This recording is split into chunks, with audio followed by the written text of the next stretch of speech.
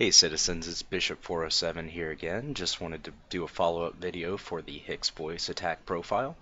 Uh, this video is going to be a brief rundown on how to get around some of the installation issues that people have been having and also to kind of go over how voice attack um, is laid out, or at least this profile has, is laid out on voice attack, and also how it interacts with voice attack.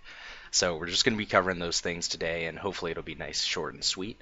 I just wanted to start off by thanking everybody for you know their support, uh, for their interest in HICS, and also for you know all the comments, upvotes, all that good stuff. So you guys rock. Glad you're enjoying it. So hopefully we can get a lot more of you up and running with it today. So we'll go into this in just a second.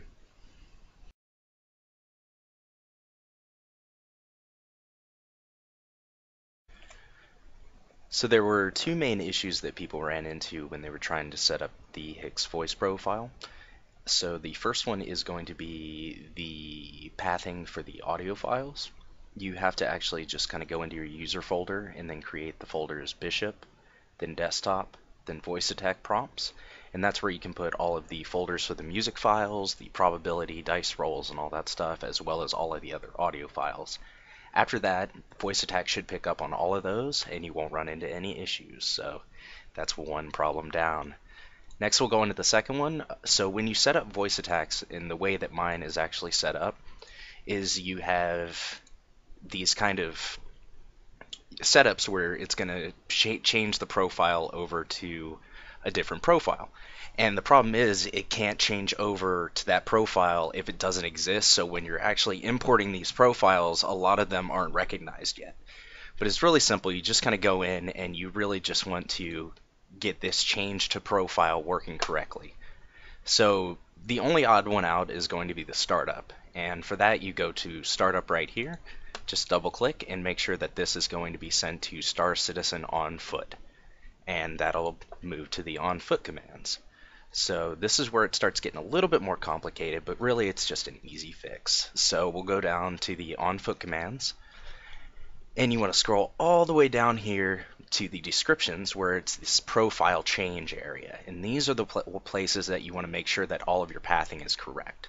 So, you know, for your EVA, you want to make sure it says change to profile star citizen EVA. For your you know, Avenger or anything like that, you want to make sure it's going to the right profile. And that's really going to be the big issue that you'll run into when importing this. So just make sure all of those profile change options are consistent in sending it over to the right profile for all of the ones that you've imported. And like I said, that's just kind of an issue with voice attack for, you know, it can't really send the next command if that profile does not exist yet on your computer. So once you get that all fixed up, it should be good to go, and that'll get rid of all of those little issues that we've been running into so far. So give that a try, and if you have any issues, just leave them in the comments below. So if those are actually missing, just to give you an idea on how to put them in, we'll go ahead and go to the on-foot commands and go to performing EVA real quick, and we'll just get rid of this command real quick. So if you end up popping in there and you see that this is how it's set up, you want to go to Other, Voice Attack Actions, then go to Switch to another profile. And from there, it'll have all of your profiles laid out for you to kind of pick in between. And then we'll just click Star Citizen EVA, and there it is. And that's exactly how it works for all of the other commands. So it's pretty simple fix, but like I said, if you have any issues, just let me know.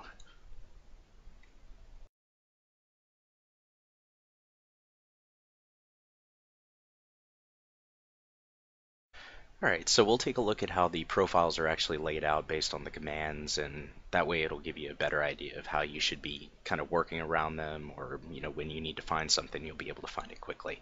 So I'll pull up the Gladius just so we have a more wide range of commands to take a look at. So we've got advanced maneuvers laid out, and these are going to be your G-safe on, decouple, and then there's going to be, uh, this is your relative mode, and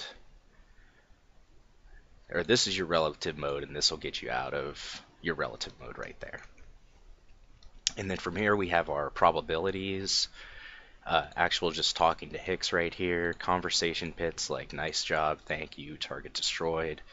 Then you have your countermeasures which will launch uh, you know, all of your countermeasures at once. It'll go through everything and just kind of launch them off. Ejection, then you have all of your information. So uh, these aftermarks are going to be, you know, the acronym for the company. So Anvil Aerospace is going to be AA, Aegis Dynamics, AD, etc. So information is all located right here, going through corporations, HICS itself, all these guys down here. And then we get to all of our landing information, missile locks. These are your play musics, uh, overall power manipulation, power groups. Uh, these profile changes are really important as we've kind of dis uh, discovered. So you want to make sure you know where those are. Uh, this will be your profile reference, so it'll actually tell you you know what profile you're on. Uh, recording commands, I have mine done through NVIDIA, so if you're not working through NVIDIA, you can kind of move these around and take a look. So it just kind of gives the basic commands and all that stuff, so you can change those around. Uh, then we have self-destruct, uh, shield commands, uh, system, so radar, match speed, lights, all that stuff, targeting, uh, and then these are going to be your views, look behind, camera, focus, unfocus, and all that stuff. So that's how it's laid out, and hopefully that gives you a better idea of you know what you're working with with the HICS. So there you go.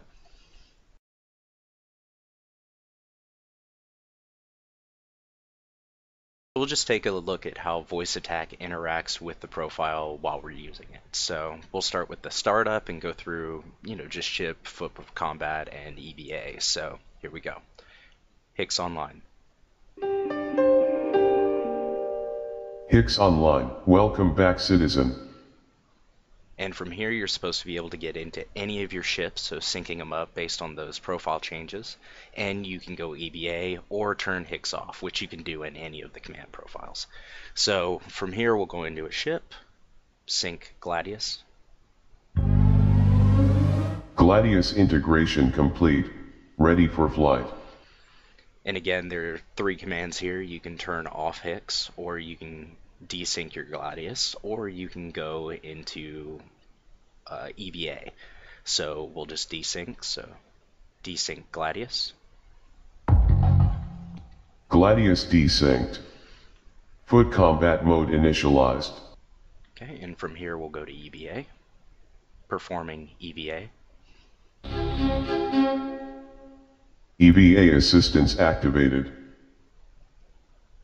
And then from there you can obviously get into a ship, exit EVA, or turn HICS off. So we'll go back to foot combat and then we'll turn it off. So exit EVA.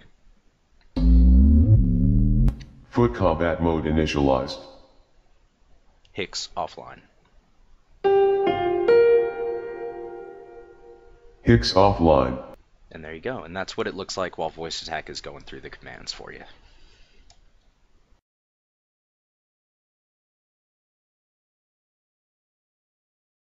So the last thing I want to show you is how to actually put a new ship onto your profile that isn't already on there. So we'll start off by going down to eh, create new profile and we'll do star citizen 325A so we'll do a 300 series ship, so import commands, and you will just import your normal Gladius or Avenger profile, but I'll just go ahead and pop this in, which is your normal Gladius profile. Uh, there will be some tweaks that you might need to do to the actual profile once you get it in there, but this is just going to be your general ship. Like most things will run, the only issues you might run into are going to be, you know, power off and on, and essentially that's it. I mean, since those are based on keystrokes at this point in time, uh, the only thing you'll run into is that power off and on. So we'll go ahead and import this. So once it's imported, you now have your 325A profile set up. You want to make sure you go down here and you're going to need to change just a few things. Uh, the first thing is going to be the mode. So right now it's set on Gladius mode, so we need to swap that out. Go to Other, Sound, Play Sound, and then we'll pop up this 300 series mode right there, and all of the ships have a corresponding mode along with it. So you just need to locate the file and pop it on here. And we'll test it. 300 series connection is active. There you go. So we'll put that in. The next thing you need to do is change the Gladius. So now we'll do desync 325A. And then we will get rid of this desync Gladius. And then desync 300 series. 300 series desynced. There you go. So those are the only two things you need to actually change within this. Now, once you have that in, you need to actually be able to get to that profile. So we'll go and swap over to the uh, EVA just to make things a little bit better. Go to Edit Profile, and we're going to be putting in a new command. Just scroll down to the profile changes real quick. So we'll do a sync 325A. And then we'll do obviously this voice attack action, switch to another profile, Star Citizen 325A. And then we'll get the sound for the sync. So sync 300 series. 300 series integration complete, ready for flight There you go. And the last thing, just make sure you keep up with your descriptions. It really helps, especially if you start adding a whole bunch of more commands. So make sure you put profile change so you know what you're doing. So once that's in there, you need to make sure it carries over to foot combat as well as yeah, just foot combat. so we'll go ahead and be finished with this, and we want to go to export profile, select none, and go down to the profile change and do that sync 325A and export it to just, you know, I, I use update for mine, but we'll do like test just to show it. And then you can go to the on foot command, import commands, test, and there you go, is that sync 325A. So just to show that it actually is working, and I'm not just kidding you here, we'll do sync 325A 300 series integration complete, ready for flight. Mode. 300 series connection is active. Desync 300, sorry, desync 325A. 300 series desynced. There you go. So that's combat mode initialized. so that's pretty much how you end up putting in a new profile. And like I said, I, I put all of the audio files that you'll need to actually create any ship that's available or has been sold in the game so far. So hopefully this has been helpful and y'all get up work up and working. And you know if there are any questions or any further comments I mean please leave them uh, on the community hub page. I'll be taking a look at that and making sure I kind of keep up to date with you guys. And you know there will be future updates to HICS and you know just I hope y'all enjoy it. And you know I'll be doing another video soon enough. So enjoy